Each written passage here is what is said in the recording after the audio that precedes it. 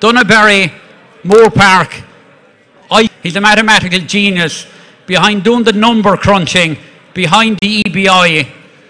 And if we didn't have the EBI we have, and obviously there's a lot of other people to thank as regards the EBI, but I'm just singling out Donagh. If we didn't have the EBI, I don't think we'd have the industry we have at the moment as regards the classic cow we have in the place.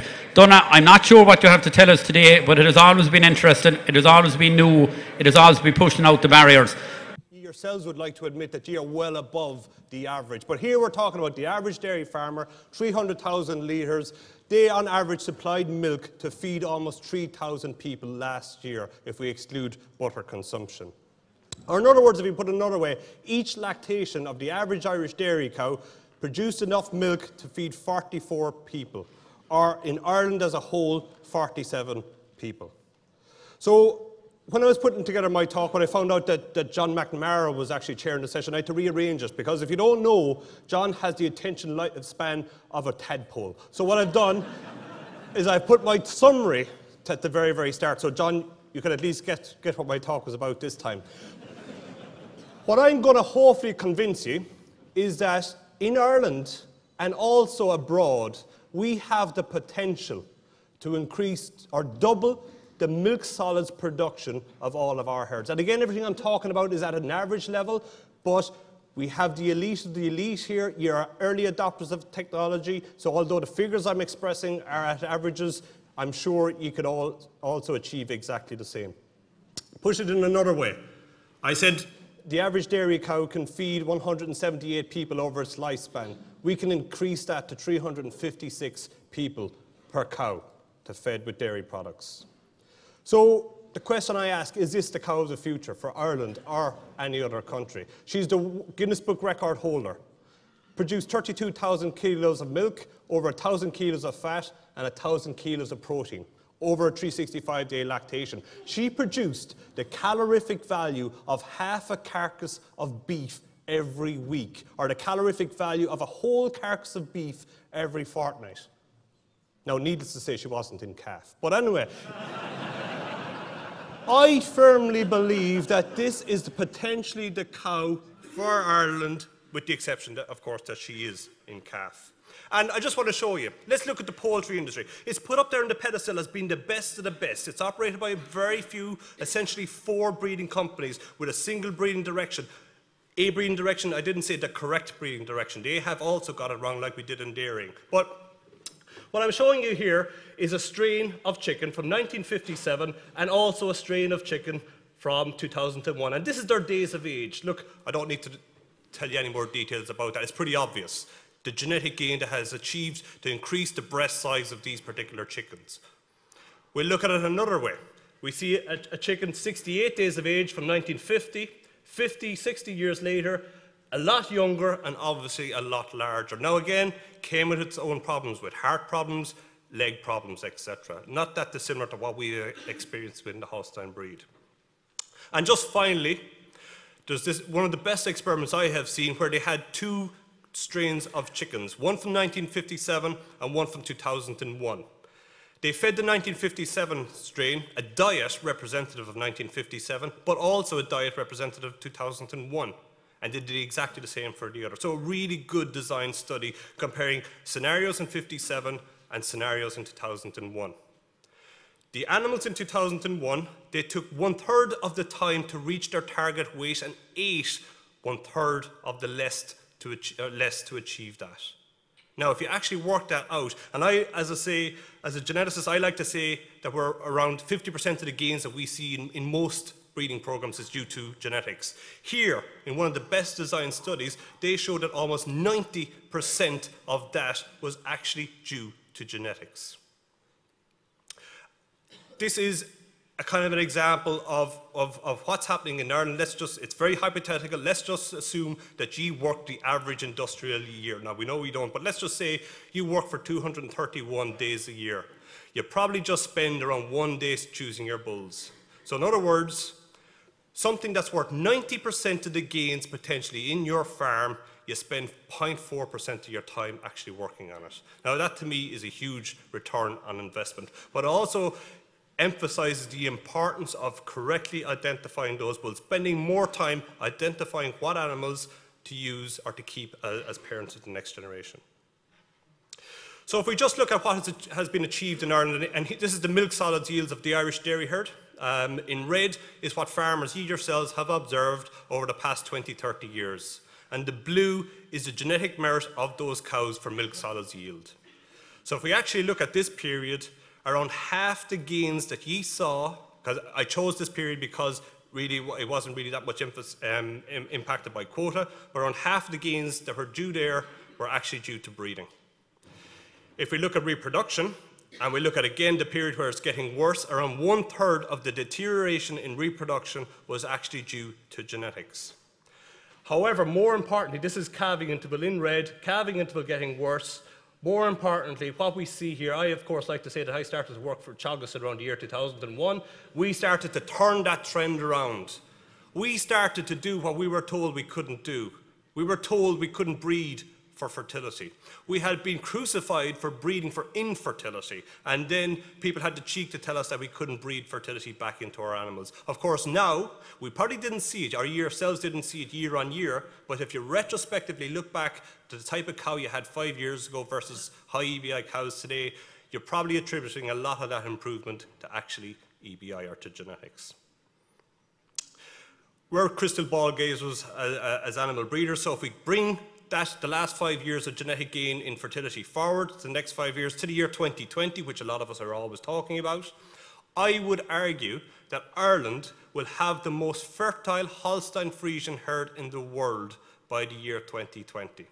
Our fertility levels of the females born that year will be what they were in 1989, which is still not optimal, but it'll be back to where it was in 1989, with arguably a 60% increase in milk solids over that period. So we go back to my lovely lady producing half the carcass calorific value every week. There is the potential there to significantly increase our yield per cow while holding our reproduction constant.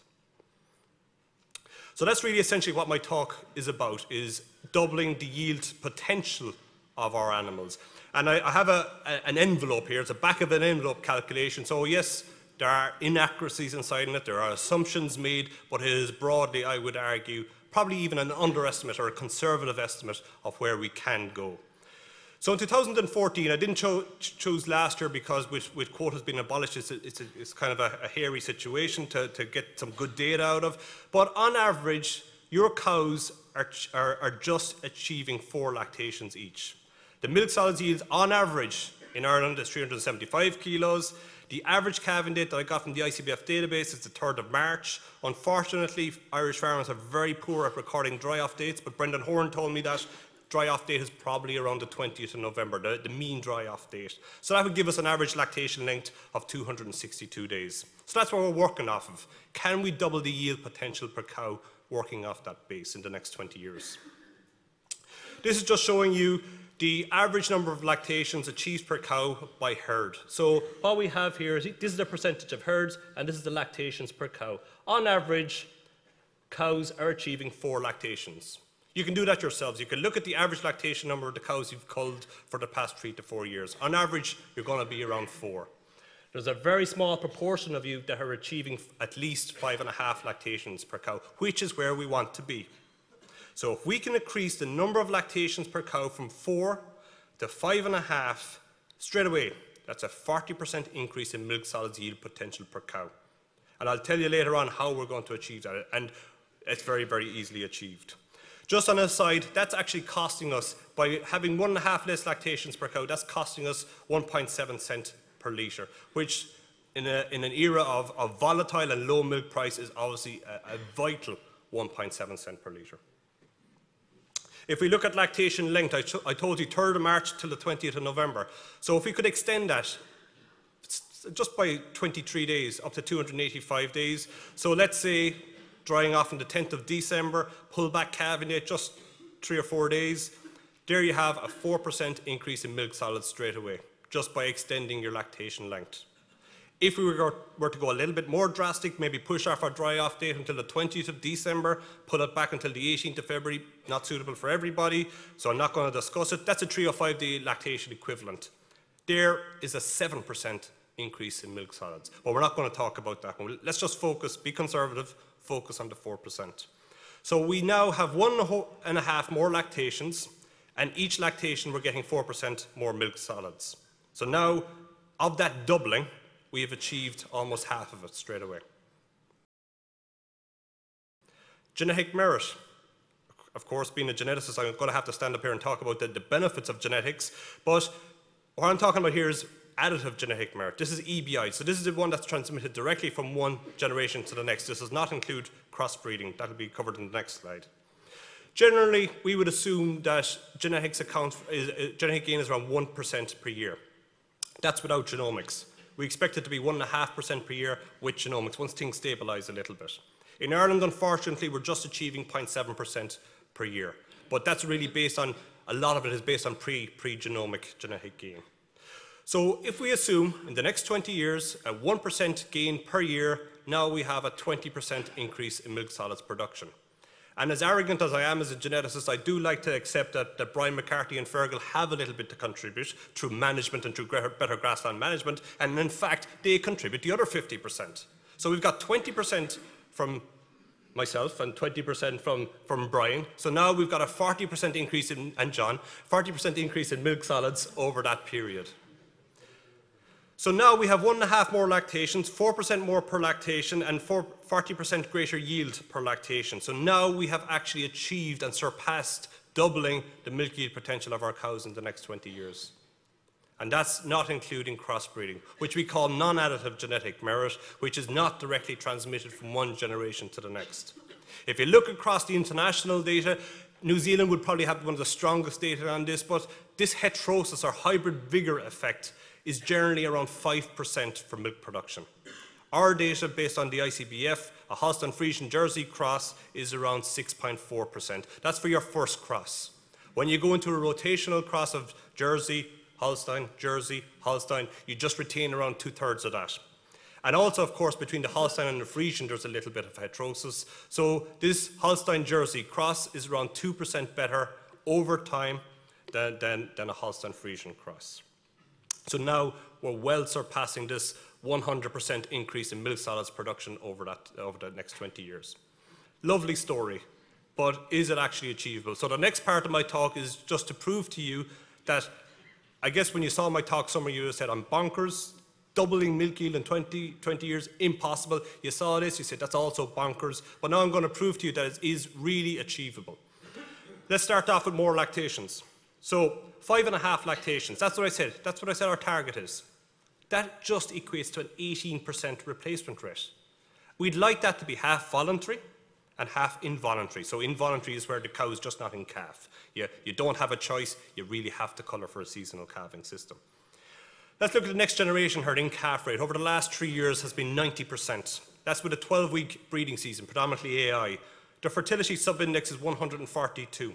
That's the target that we're putting out there. It's around 140 fertility subindex is where you really want to be to achieve the, the, targets for seasonal calving system under good management. Obviously, if you don't put a straw into a cow, she's not going to go and calf. If we look at the cows born in 2014, their fertility subindex was 83 euros, and it's increasing by around 6.4 euros per year. So the fertility subindex of females born in, the, in 20 years' time will be 211. Now, I think even John McNamara can do the maths on that one. That is significantly larger than what the fertility subindex of the next generation elite animals are, who are achieving, under good management, who are achieving seasonal calving targets. Also, if you look at the milk subindex, it's also significantly larger than what the, the elite herd um, milk subindex is. So 18% replacement rate is definitely achievable. So therefore, five and a half lactations per cow is definitely achievable. Look at longer lactations then. Um, so longer lactations is obviously driven by fertility to some extent. Uh, the mean calving interval of Irish dairy cows, if we ignore 2013, it's a lot larger, it's a lot uh, more favourable if you include 2013, but something funny happened there, I'm not really sure what happened. But calving interval is improving by around three days per year. if we translate that to calving date, given the situation we are at that time under quota, Mean calving date is coming forward by around one and a half days per year. So obviously, even again, John can do the maths. 20 times 1.5 is definitely larger than 23. So it is very easy for us to achieve a 23 day longer lactation length. Now, there are some assumptions inside in all this, this basic maths that I've done back of the envelope calculations. The one that gives me the, the most of the willies is the fact of quota going. And lads saying, geez, we need more milk. You know, I'll touch on this again in a second. Just very, very quickly, there's three ways to increase milk production in, Irish dairy herds. One, genetically select for milk. I think everybody accepts that. Two, longer lactations, which is what I've just talked about. There is a 4% in, uh, gain in milk production achieved by a modest improvement in lactation length by having better fertility and allowing us to do that. And three is survival. A mature cow yields 22% more solids than a first lactation cow. So if you have a high replacement rate, actually, your herd is has a lower milk yield potential or lower milk yield than its actual potential. The other thing, because we don't really know what's going to happen, is quota abolishment. I haven't modelled that inside in this. And we know the explosion in milk yield that we got this year, even with the start of the year still being under a quota regime. So I really think that a doubling of the yield potential of our cow is a real underestimate of the potential that is there. And again, I've done a lot of my assumptions on an Irish level, but this is easily applicable to the UK and, and Dutch contingent here as well. It also ignores the technological developments in the next 20 years. So essentially it means that I'm going to sit on my backside in Moorepark for the next 20 years and do absolutely no more research. We know with genomic selection it's increasing genetic gain by 50%. We've only been working on genomic selection for eight years. We've been working on the old system for 60 years. Not, not me personally, by the way, of course. The other one is sex semen. Now, look, it's, it's, it's not here. I, I firmly believe in the next three to five years, it's going to be just routine. Um, the, the, the, flip side, uh, again, I'll touch on this in a second, is the new traits within the EBI. If we put new traits into the EBI, we are going to slightly reduce the selection pressure on milk and on fertility. So our rate of gain will, will slightly reduce um, when we do that. So just looking into the future then, uh, and this is the three aspects I'm going to talk about. One is the emphasis on traits in the EBI. Two, the new traits that I see coming into the EBI and three are these DNA-based technologies or genomic selection. Where are we going with this uh, DNA technology? So this is how the EBI has evolved over the past few years since its introduction in the year 2001. The blue there is the emphasis on milk production. So obviously the emphasis on milk production was 100% in the old RBI days. 30% emphasis on fertility in 2001, and then up to around 40% emphasis.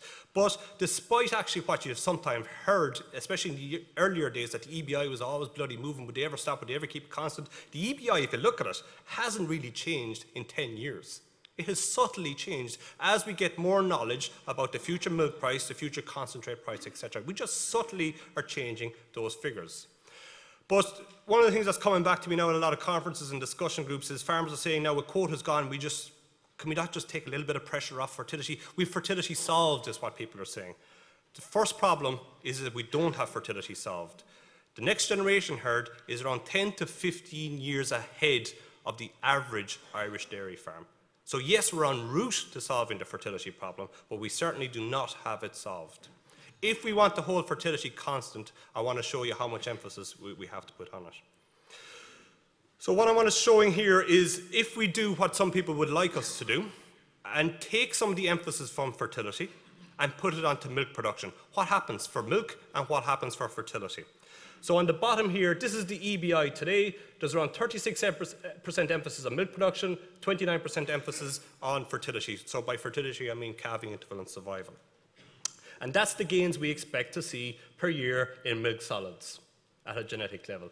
If we take 2% off fertility and put it straight onto milk, obviously you're going to get more gains in milk. And as you put more and more emphasis on milk, your gains in milk solids are going to increase. That, that's, that's logic. The problem is what happens to fertility. When you start taking, this is our gains that we're currently achieving in, in fertility, uh, minus 0.8 days, so almost one day per year what we can see is that it's slowly and slowly eroding. And the same with survival. Our gains in survival are eroding and eroding. And if you draw a line on zero, if we take 9% emphasis off of fertility and put it onto milk production, we are going backwards straight away. Our fertility is starting to get worse and worse. So it's crucial that we essentially hold the line, keep our emphasis on fertility. You can see that's a modest gain in fertility to be achieving still with 30% emphasis. So we don't see the economic values in the EBI changing anytime soon. Look at new traits. And again, I challenge anybody out here to give me one trait that is not under genetic control. I yet have somebody to challenge that. If it is under genetic control, then we can breed for it. The extent to which or the speed at which we can do it, that's another day's work. But what I'm showing here is the, the different traits on the bottom axis and what we call the heritability. So how much genetic variation is there? So milk production, it's around 30% heritable, 35% heritable. Amongst the field, the cows, around 35% of the differences in them is due to their genetics. Milk, uh, milk uh, composition, around 50, 52% heritable. Fertility, lowly heritable. Everybody telling us we couldn't improve it years ago, but now, of course, we all know that that is rubbish, that we can improve it, even with such a low heritability. So we can select for whatever we want to as long as it is important and as long as we can measure it. So I would argue that if we look internationally at the indexes that are there, the dairy indexes, there's three main components missing. Animal health, product quality, uh, of course, Ireland being such an important, having such an important reliance on, on, on, export markets, crucially important, and feed intake and efficiency. So I'm going to tackle the three of them. Let's just start on, on health. I'm showing you four diseases here. I could show up a number of different diseases. This is the mean incidence of these diseases in the different sire groups. So let's just start with lameness. All of these bulls had to have at least 50 progeny in at least 20 different herds. What this is saying here, this is lameness, the daughter prevalence. There's several bulls here where none of their daughters got lame. There's other bulls who have daughters on the same farms where 39% of their daughters got lame. None, 39. All managed the same. Mastitis, very few got, none of them, none of their daughters got mastitis. Some of them, 46% of their daughters got mastitis. Same farm. Cystic ovaries, some bulls, 12% of their daughters got cystic ovaries. Lots of bulls there, none of their daughters got cystic ovaries on the same farm. Tuberculosis is a bit more exaggerated. One bull here, he's an old bull, Buzz, 96% of his daughters got TB. While other bulls on the same farm, none of their daughters got TB. And just to kind of emphasize that point a bit further, some of you, I'm sure, have got TB on your farm. You might have lost 10, 20% of your herd. Why didn't you lose 100% of your herd? TB is spread nose to nose in, uh, of your cow herd. They're all coming into milking twice per day. Why didn't every cow go down with tuberculosis? I would argue genetics. Next aspect is product quality, and Pete talked about the export markets, getting into these high value markets, these value added products. It doesn't matter what the science says, it's what the media says. And at the moment, saturated fats are bad. The science is proving otherwise, but at the moment, the perception out there, saturated fats are bad. So what we did is we went into the next generation herd and we looked at the saturated fatty acid content of those animals. They haven't been selected. They're all managed exactly the same. This is it. Some of those animals, 57% of their fat was saturated. Same animals measured exactly the same, uh, same system, 69% of their fat was saturated. Phenomenal differences in the saturated fatty acids. Imagine going to the retailers telling them that we can not only can we produce milk that was produced in an environmentally friendly and socially friendly green environment, but it's actually way better for you. And there's no processing. It, this is breeding. If you look at it, unfortunately, so the blue here is the national average, you can see you're turning towards the left, and the elite EBI animals are to the right. Unfortunately, it looks like the EBI is selecting for more saturated fat in the, in the fat. And, and, this is what we would see internationally as well, especially in the Dutch data. As you select for fat, you tend to increase the proportion of saturated fat within it. But the, the, the point I'm trying to make is the potential is there to actually select against saturated fat. Also look at casein content. And I could, again, I could throw any of these up. Myocyte, or myocyte size, coagulation properties, renneting time, all of these processing characteristics under strong genetic control and considerable genetic variability there. The last one then is feed intake and efficiency. Um, so what I've done here is this is from Moorepark data, all Holstein Friesian cows. This is their average feed intake of these animals adjusted to have the same body weight and same milk energy potential or milk energy yield. So on average, they will be zero.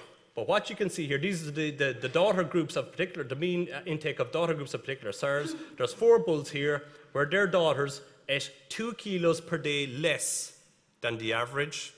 Their daughters, remember, all black and white, all grass fed, eating two kilos more per day than the average.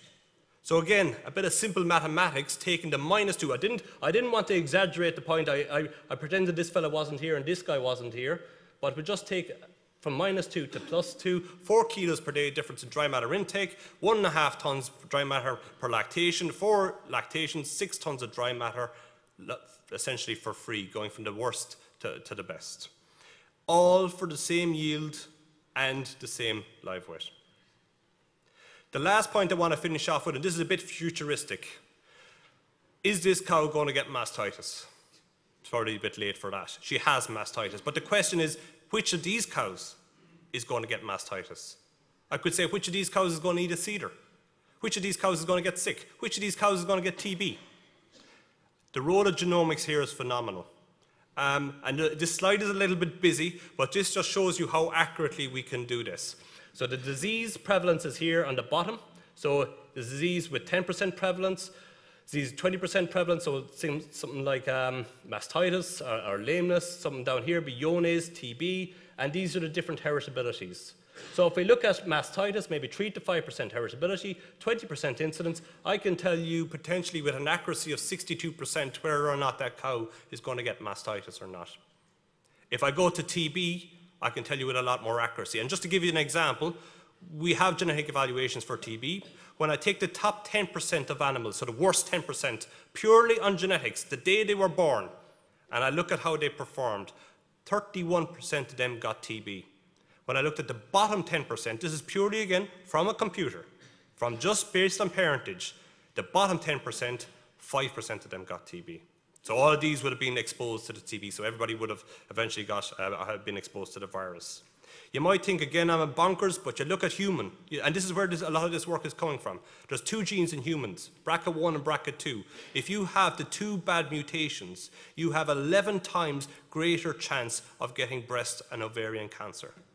This is where we are going to in, in animals. So if you just think about the mastitis case, you mightn't be giving all your cows dry cow therapy, but what you could be doing is looking at this DNA or genomic value and saying, right, that one, there's a decent enough chance she's going to get mastitis next year. I'm going to tube her at the end of lactation. So, Mr. Chairman, just to, just to, to, to finish, um, hopefully I, have convinced you that uh, the, the potential is there to double the yield per cow based solely on what we're doing. Five years, I've just essentially extrapolated the last five years of selection on EBI, with or without crossbreeding. The crossbreeding will add to this even further, assuming that we can get a good Jersey breeding program. We can achieve this potential. And I, I throw down the gauntlet to the next speaker, Brian and Fergal, is can they feed this potential? And if we look at the gains we are achieving in, in grass, essentially it's, it's laughable.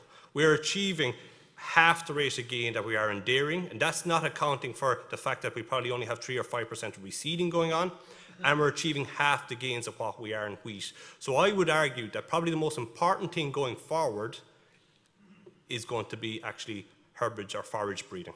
Thank you very much.